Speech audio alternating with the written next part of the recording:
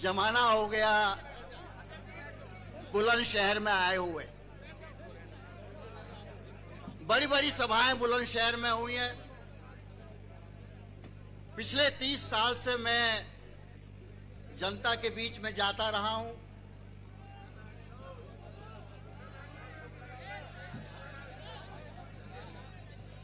कहीं सम्मेलन, कहीं सभाएँ और हर एक का मकसद बस एक रहा है।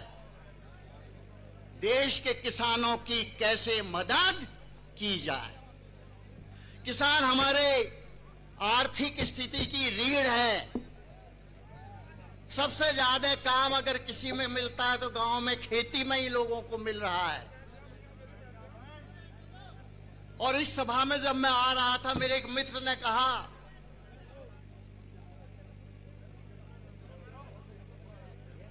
चुप रहो जरा। मित्र ने कहा कि जाके जरा जोश भर देना। अब मैं आया तो मैं देख रहा हूँ, आपने तो मुझमें जोश भर दिया।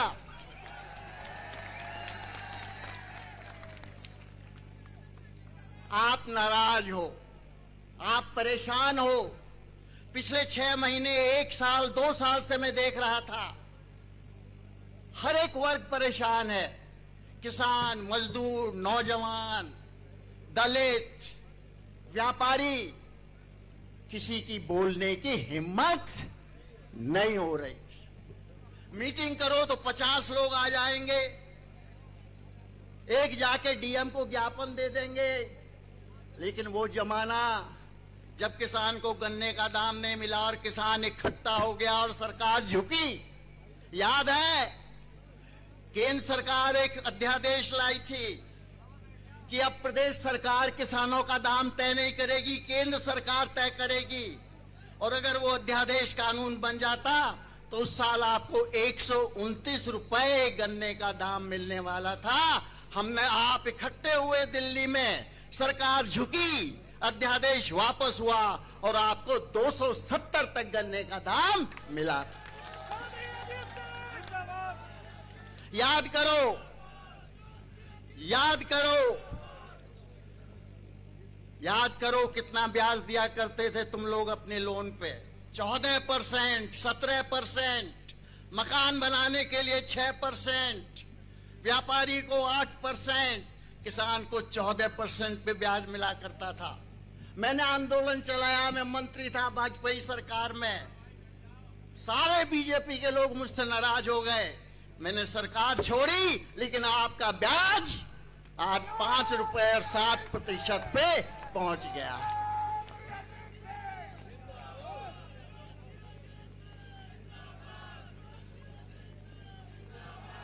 तो ये जो घटना हुई है, ये छोटी घटना नहीं है, ये सुनियोजित था। सरकार डरी हुई थी कि किसान परेशान है, कहीं खड़ा ना हो जाए, कहीं इकट्ठा ना हो जाए, कहीं अपने मन की बात ना करने लगे। मोदी की मन की बात तो सुनते सुनते तंग आ गए ना।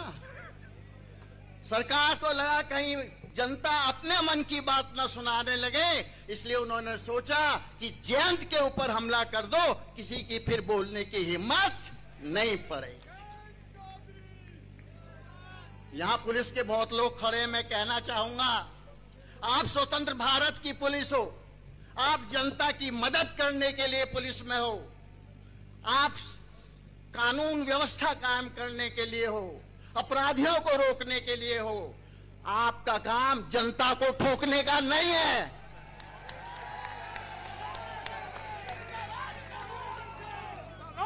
और जो यूपी का मुख्यमंत्री कहता है, ठोक दो।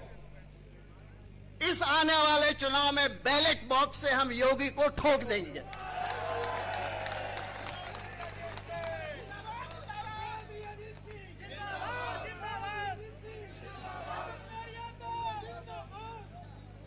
रोज़गार खत्म हो रहे हैं।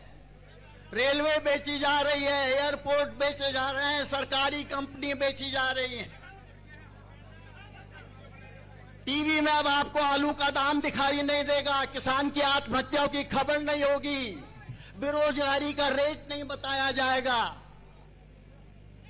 टीवी में बस बैठ के किस तरह आपस में लड़ाया जाएगा, उसके अलावा कोई काम आज के दिन नहीं हो रहा है।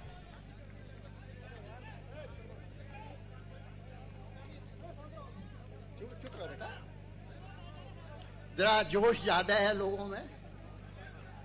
और वो गुस्सा आपस में नहीं है, गुस्सा तो मोदी के खिलाफ है, योगी के खिलाफ है। अपनों पे मत उतारो। मौका मिलेगा इस प्रजातंत्र में तुमको। कितना ही दबा लें, कितना ही अखबार और टीवी खरीद लें, जब ये जनता उठ खड़ी होती है, कोई सरकार बचने वाली नहीं है। और आज ये जनता खड़ी हो रही है, क्यों? कब तक सहेगी? अगर यही नीतियाँ चलती रही तो गरीबी की रेखा में 50 परसेंट आदमी डूब जाएगा। क्या हाल हुआ मजदूरों का? 45 डिग्री में बीवी बच्चों के साथ 400 किलोमीटर तक पैदल जा रहे थे। क्या डीएम हर दो किलोमीटर पे एक ढब्बा, ढाबा नहीं खोल सकता था? हर ज़िले में डेढ़ सौ सरकारी बस खाली पड़ी हुई हैं। क्या उन बसों से उनको घर नहीं पहुँचाया जा सकता था? लेकिन मोदी के दिल में एक भी आवाज़ उसकी तरफ़ से उन गरीब मजदूरों के लिए नहीं उठी। मन की बात तो होती रही। इसी तरह हर वर्ग को देख लीजिए, किसान की आय दुगनी कर देंगे। पहले तो बोले, हमने सॉयल कार्ड बना दिया है। सॉयल आपके ज़मीन का क्या हाल है? उसका एक कार्ड आपको दिए दिया इससे ज़मीन दुगनी हो जाएगी। आय आय दुगनी हो जाएगी। मैं लाल किले से भाषण सुन रहा हूँ, प्रधानमंत्री का, योगी जी का, हर महीने। हमने गन्ने का दाम दे दिया। योगी जी कभी थोड़ा शर्मा के कह देते हैं, अगले महीने दे देंगे।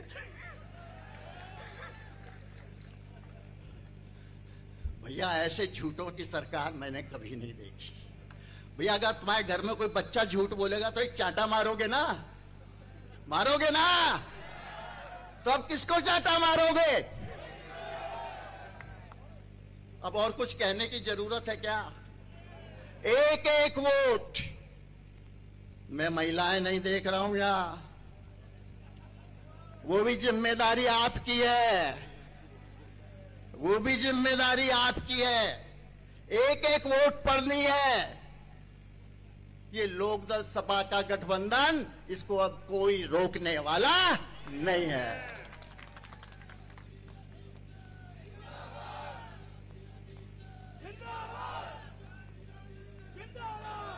आप एक एक चीज़ देख लो, नोटबंदी।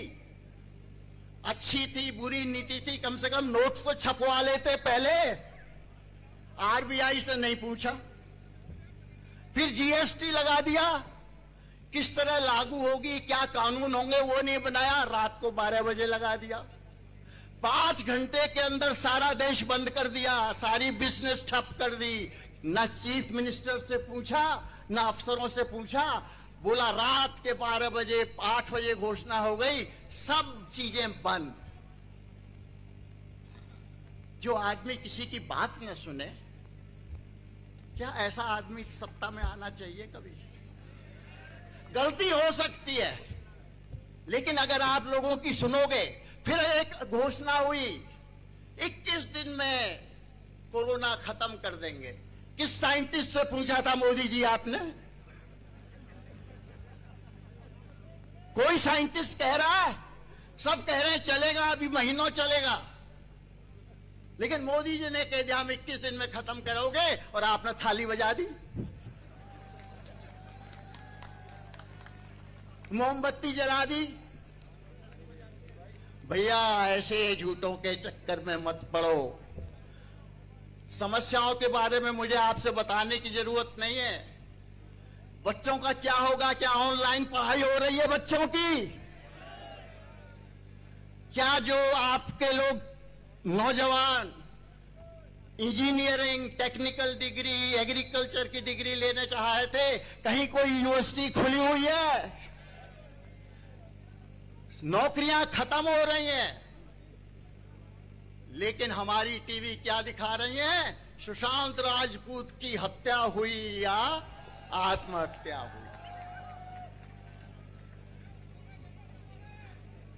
इनको आपस की कोई चिंता नहीं है।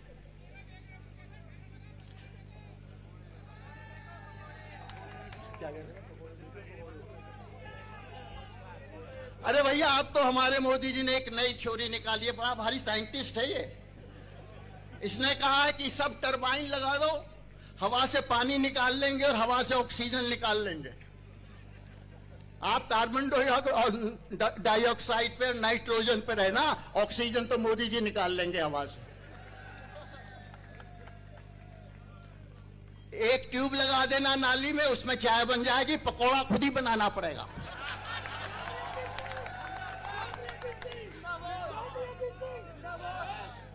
अरे भैया, आप पढ़े लिखे होशियार आदमी हो।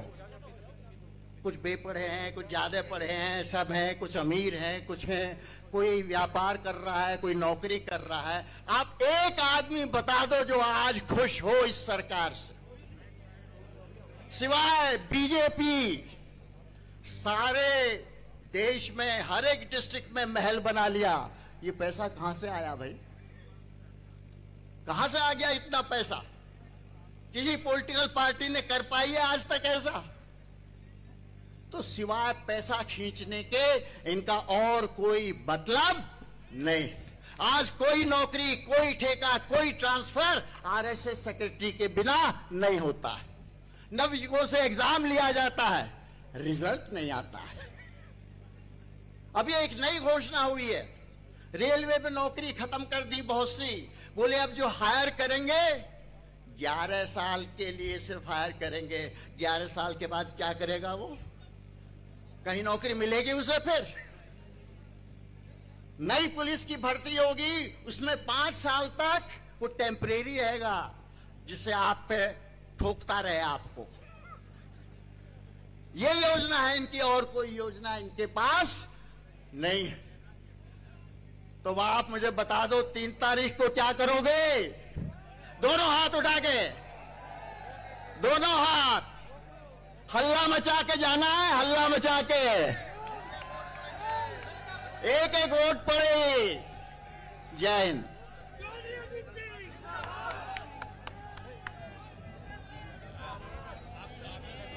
अरे सुनो सुनो। सुनो सुनो। मैं चौधरी साहब का बहुत